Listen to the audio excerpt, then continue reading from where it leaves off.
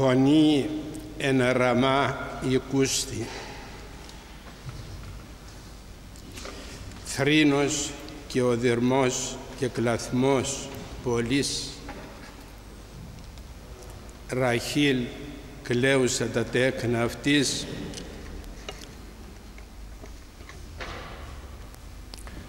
Ότι ούκηση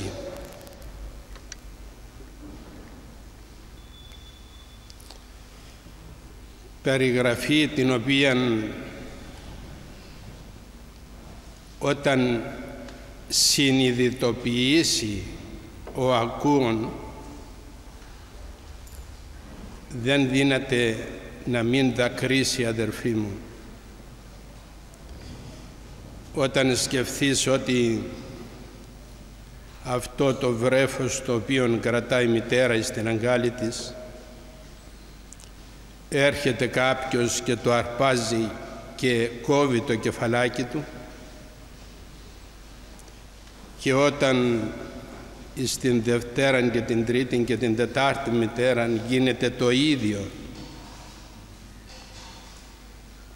Τότε πόσος κλαθμός και ο δυρμός εγένετο την ημέρα εκείνη κατά την οποία ο Ηρώδης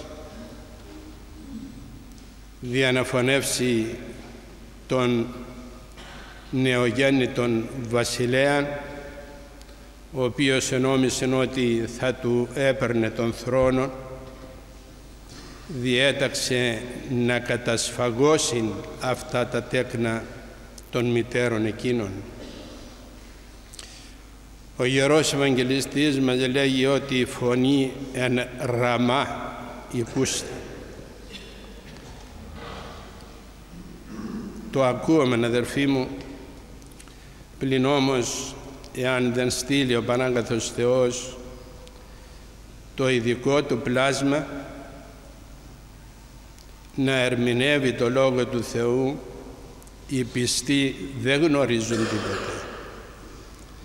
Δι' αυτό όπου υπάρχει Θείον Κήρυγμα να έχετε βαθύ την πίστη ότι ο Θεός είναι μαζί μας.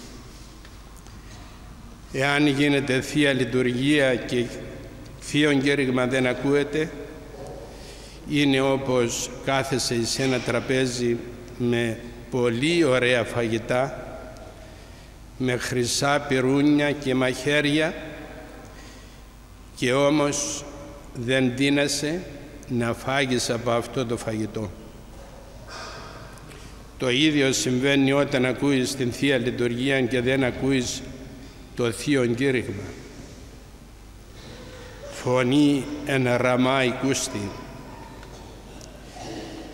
Τι είναι αυτό το όνομα το οποίο αναφέρει ο Ευαγγελιστής; Το διέσωσεν ο προφήτης Ιερεμίας προτού έρθει στον κόσμο ο Χριστός να γεννηθεί και να γίνει άνθρωπος όπως εμείς οι άνθρωποι. Ραμά είναι ένα υψηλό όρος το οποίο έλαβε ο Βενιαμίν ως κληρονομία. Ο Βενιαμίν ήταν ο τελευταίος ιός του Ιακώβ. Είχε δώδεκα τέκνα και ο τελευταίος ήταν ο Βενιαμίν. Η μητέρα η οποία γέννησε τον Βενιαμίν ονομάζεται Ραχίλ και εκείνη μόλις γέννησε τον Βενιαμίν αμέσως απέθανε και ετάφη στην Βιθλεέμ. Εκείνη η κληρονομία όμως έμεινε στα τέκνα της, στον Βενιαμίν και τα τέκνα και την γενεάν εκείνο. Δι' αυτό ο προφήτης Ιερεμίας αναφέρει αυτήν την γενεαλογία και αναφέρει και το γεγονός το οποίο συνέβη. Και λέγει ότι η Ραχήλ έκλαιε τα τέκνα αυτής και θρυνούσε και πονούσε διότι εκαυχόταν ότι ούκη εσύ τα εφώνευσε ο Ηρώδης και λέγει εξυφανίστησαν αυτοί ή το η πίστης των μετατάφτα επακολουθούν των γενεών δεν είχαν την πίστη ότι εκείνα τα παιδεία τα οποία φώνευσε ο Ηρώδης ήσαν οι πρώτοι μάρτυρες οι οποίοι θυσιάστησαν δια τον Κύριον ημών Ιησούν Χριστόν. Η παράδοση της Εκκλησίας μας αναφέρει ότι εσφάγησαν την ημέρα εκείνη 14.000 νήπια από διετούς και κατωτέρω λέγει. Διότι ο Ηρώδης εκρύβωσε λέγει παρά των μάγων των χρόνων. Και οι μάγοι του είπαν ότι δύο χρόνια είδαμε λέγει τον αστέραν αυτού και ήρθαμε λέγει να τον προσκυνήσουμε μην νομίζουμε δε ότι οι μάγοι της τότε εποχής σαν οι μάγοι σημερινοί οι οποίοι καταγίνονται με τις μαγείες και με τους διαβόλους. Οι μάγοι της τότε εποχής ονομάζονται οι σοφότεροι των ανθρώπων. Και οι Πέρσες, οι Χαλδαίοι αυτοί είχαν σοφία και οι σοφότεροι εκείνων ήσαν οι λεγόμενοι μάγοι. Και εκείνοι εγνώριζαν αφού ανεγίνωσκον τας γραφάς και είδαν εκεί ότι θα γεννηθεί στην Βιθλεέμ ο βασιλεύς των αιώνων εκείνος ο οποίος θα κυβερνήσει και η βασιλεία του δεν θα έχει τέλος και μόλις είδαν τον αστέρα εξεκίνησαν αφού προετοιμάστησαν και αυτό είπαν στον Ηρώδη ότι επί δύο χρόνια αγωνιζόμεθα να έρθουμε για να τον προσκυνήσουμε. Αυτό όταν ήκρουσε ο Ηρώδης εταράχθη λέγει και μετά αυτού πάσα η, Ιερουσο, η Ιερουσαλήμ. Εταράχθη διότι γεννήθη ο βασιλεύς για να του πάρει το θρόνο του. Αυτήν την εντύπωση είχε όπως και σήμερα πολλοί εκ των ανθρώπων έχουν το ίδιο ακριβώς σχέδιον στη ζωή των ότι κάποιος ο οποίος εμφανίζεται θα τους πάρει την αρχηγία και των θρόνων και την εξουσία και προσπαθούν ο ένας να εξοντώσει τον άλλο.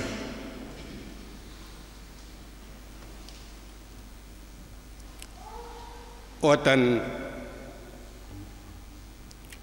κρύβωσε ο Ηρώδης των χρόνων έβαλε στην διάνοια του ο Θεός αμφιβολίαν η δύνατο την ίδια στιγμή να φύγει με τους μάγους και να τους ακολουθήσει και να κατέσφαζε τον Χριστόν. Πλην όμως ενέβαλε στην διάνοια του αμφιβολία και απευθύνθη προς τους μάγους και τους λέγει «Πορευθέντες, ακριβώσατε περί του πεδίου που ευρίσκεται και να έρθετε να μου αναγγείλετε αυτό για να προσκυνήσω και εγώ αυτό το παιδί. Είναι αυτά τα οποία λέγει ο άνθρωπος απ' έξω και από μέσα είναι ένα θηρίο ολόκληρο.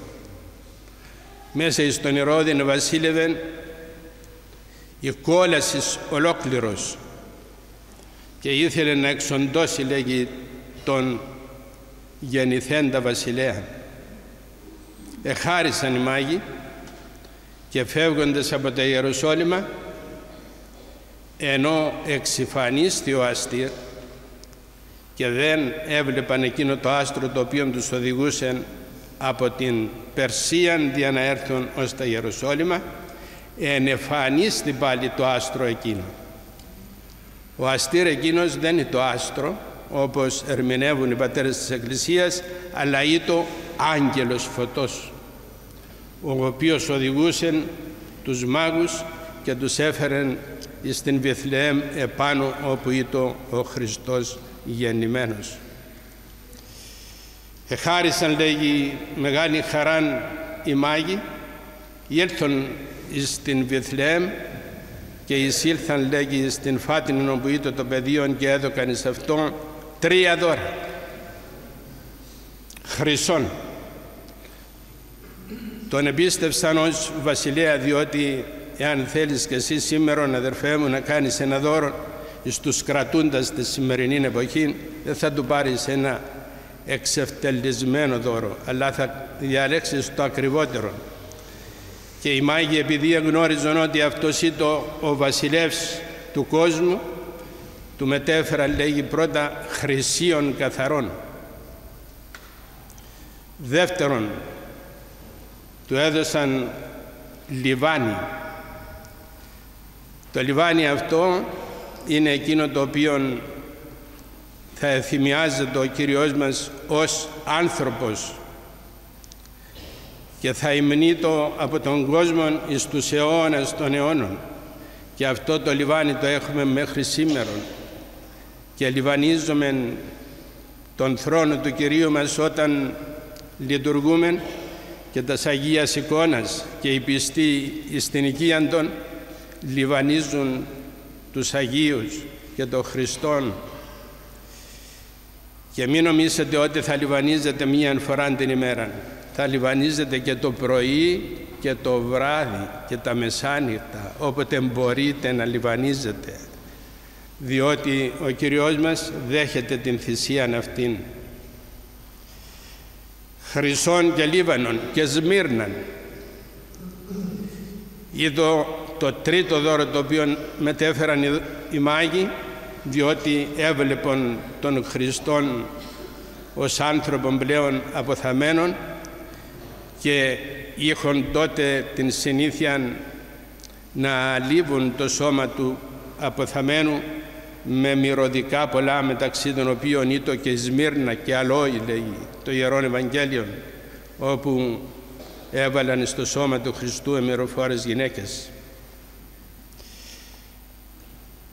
Αφού τελείωσε όλο αυτό οι μάγοι είχαν υποσχεθεί να επιστρέψουν στον Ηρώδιο πλην όμως άγγελος Κυρίου είπε σε αυτούς να αθετήσουν την υπόσχεση. Εάν ο Ηρώδης αθετούσε την υπόσχεσή του την οποία έκανε ενώπιον του κόσμου δεν θα αποκεφάλιζε τον Ιωάννη τον πρόδρομο. Ορκίστη λέγει. Ορκίστησαν και οι μάγοι να επιστρέψουν πίσω. Η υπόσχεσή στον ήτο όρκος. Πλην όμως έρχεται ο άγγελος και τους λέγει θα αθετήσετε τον όρκο αυτό. Δεν θα επιστρέψετε πίσω. Διάλυσο του να φύγετε στην χώρα σας και έφυγα λέγει διάλυσο του. Ο Ηρώδης εθυμώθη Λία εξέδωκε αμέσως διαταγή και γένετο η σφαγή των νηπιών. Ας ήτο τότε η σφαγή εκείνη να ήτο και το τέλος. Να μην εσφάζοντο άλλα νήπια στο πέρασμα της Μιχαλίδος ταύτης και αμαρτωλού γενεάς. Ας ήτο εκείνα τα τέκνα τα τελευταία τα οποία σφάγισαν.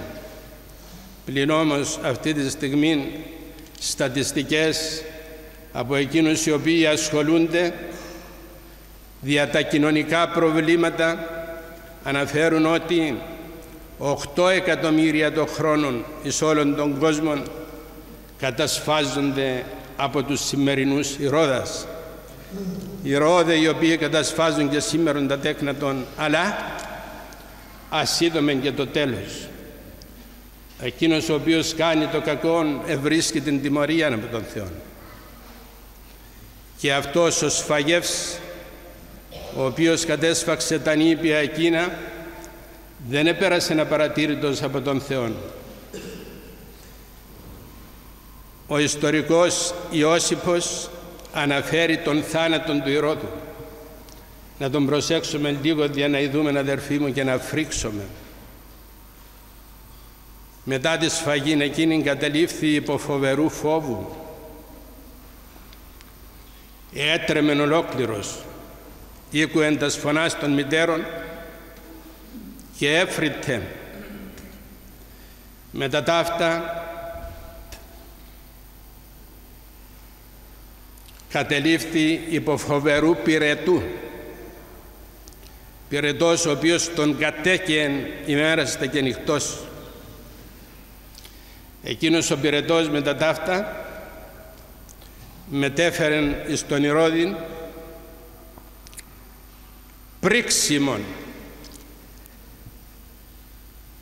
έγινε τύμπανον. Και μέσα από εκείνα τα μέλη του ενεφανίστη σπασμός ο οποίος έφρυτεν ο Ηρώδης και έτρεμεν. Επονούσεν και φώνεζεν πλην όμως ουδής η δύνατο να τον βοηθήσει. Μετά τα αυτά το πεπτικό σύστημα του σώματος του Ηρώδου δεν λειτουργεί πλέον να εξυπηρετήσει το σώμα του. Δυσεντερία φοβερή. Και μετά τα αυτά ολόκληρον το υπό την γελίαν μέρος εσάπησεν, έλειωσεν και σκόλικες λέγει κατέτρωγαν τα εντόστια του και μέσα σε αυτούς τους πόνους τους φοβερούς έκλεισε τους οφθαλμούς του. Αδερφοί μου, μην νομίζουμε ότι και σήμερα όσοι ομοιάζουν με τον Ηρώδη ότι περνούν απαρατήρητοι από τον Θεό ότι δεν τον ενδιαφέρει τον Θεό. Εκείνα τα νήπια τα οποία κατεσφάγησαν βρίσκονται στην βασιλεία των ουρανών στους κόλπους του Αβραάμ διότι έχησαν το αίμα των δια την γέννηση του Χριστού. Σήμερα άραγε αυτά τα τέκνα τα οποία φωνεύουν οι σημερινοί ρόδε που να βρίσκονται είναι αβάπτιστα όπως ήσαν και εκείνα αλλά εκείνα βαπτίστησαν στο αίμα του μαρτυρίου των και τα τέκνα τα σημερινά τα οποία σφάζονται από τους σημερινούς γονείς οι οποίοι είναι αθεόφοβοι βαπτίζονται μέσα στο αίμα των διότι την στιγμή κατά την οποία άλλοι ρόδε οι οποίοι ονομάζονται ιατροί σφαγής οι οποίοι σφάζουν τα τέκνα των Ελλήνων και φτάνουμε μέχρι το εκατομμύριο των χρόνων. Φρίξετε αδερφοί μου φρίξετε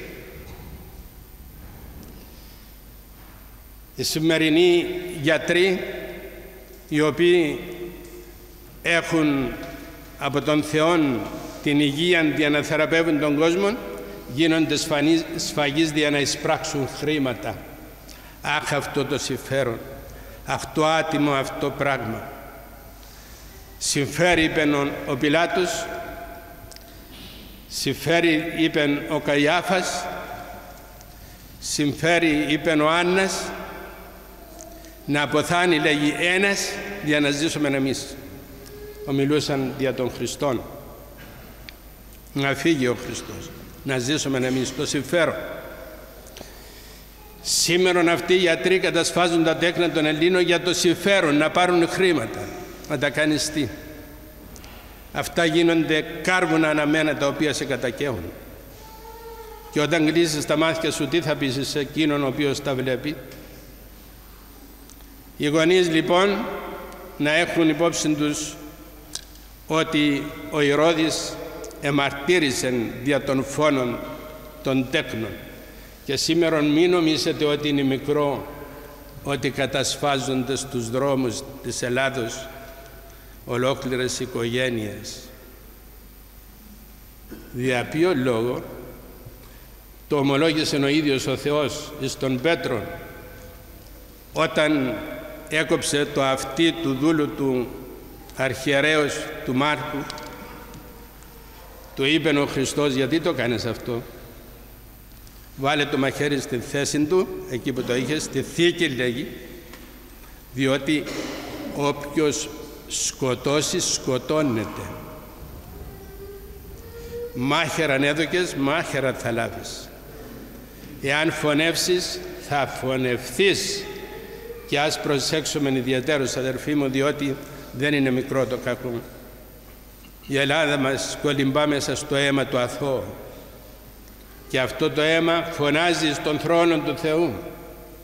Εκείνα τα τέκνα τα οποία φωνεύονται εάν δεν μετανοήσουν οι γονείς φωνάζουν στον Θεό κάτω από το θρόνο Του και Του λέγουν Κύριε και Θεέ μας πλάστη και δημιουργέ μας δεν μας αφήκαν να είδουμε το φως οι γονείς μας.